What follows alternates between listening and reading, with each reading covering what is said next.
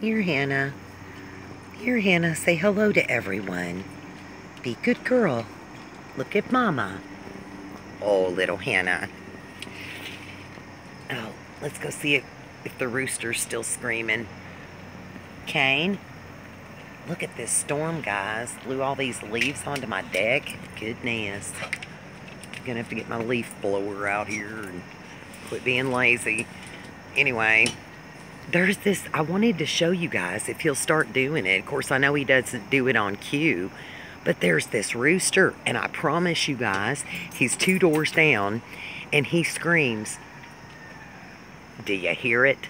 He, the cock crows all day long around here, apparently. I promise you guys, this has been going on since the, um, the day of the eclipse, and I never noticed it before. Um, do you hear him? He's, look, guys, this is the point. If, if some people aren't waking up and some people don't know what time it is, apparently some of God's creation does know, and they're trying to announce it to the world. Because that little rooster, I promise you, he's one little guy, but he screams from morning till night. And, you know, I've pretty much been around the country all my life, you know, being from Kentucky and being a country girl and do you hear that? And that's right here in the middle of the city. And I, I know it's not a very big city. It's Lexington, Kentucky. We've got about 300,000 people here, um, mostly big universities and the big medical center. People come here to become doctors, lawyers, and Indian chiefs. We got the University of Kentucky with the big Wildcats, which I think they've won the NCAA championship more than any other team known to man on the planet. And, uh, you know, we've got Transylvania University, which is a big private school. We've got Asbury College really nearby, which is uh, a big seminary school. And um, so this is not exactly out in the middle of nowhere, guys. I'm stuck here right in the middle. I'm probably five minutes from the University of Kentucky campus right now. And this little rooster over here, a couple of doors down, and uh, and that's how loud he is, guys. I mean, this little thing goes on from ding to dong and screams all day long. And it, the, the crazy part is is that when I did that video the other day about the look like the sun coming up in the east at four o'clock in the afternoon um, and all the glory. It I don't know if that's what's confusing him, so he crows all day long like he thinks it's sunrise, or if the eclipse got him Twitter pated to where he doesn't know the difference. I don't know. Um, but he didn't do this before, and he lived there before, because every once in a while I would hear him, but it would be seldom. You know, you don't hear usually a cock crowing constantly all day long.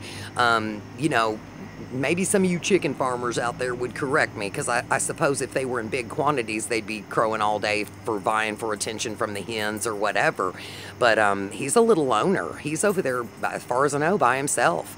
Um, I don't think that the uh, the person has anything, but they changed the uh, the city codes here a couple of years ago where people could have like a lamb or a sheep or a goat because people are starting to have those animals more as pets.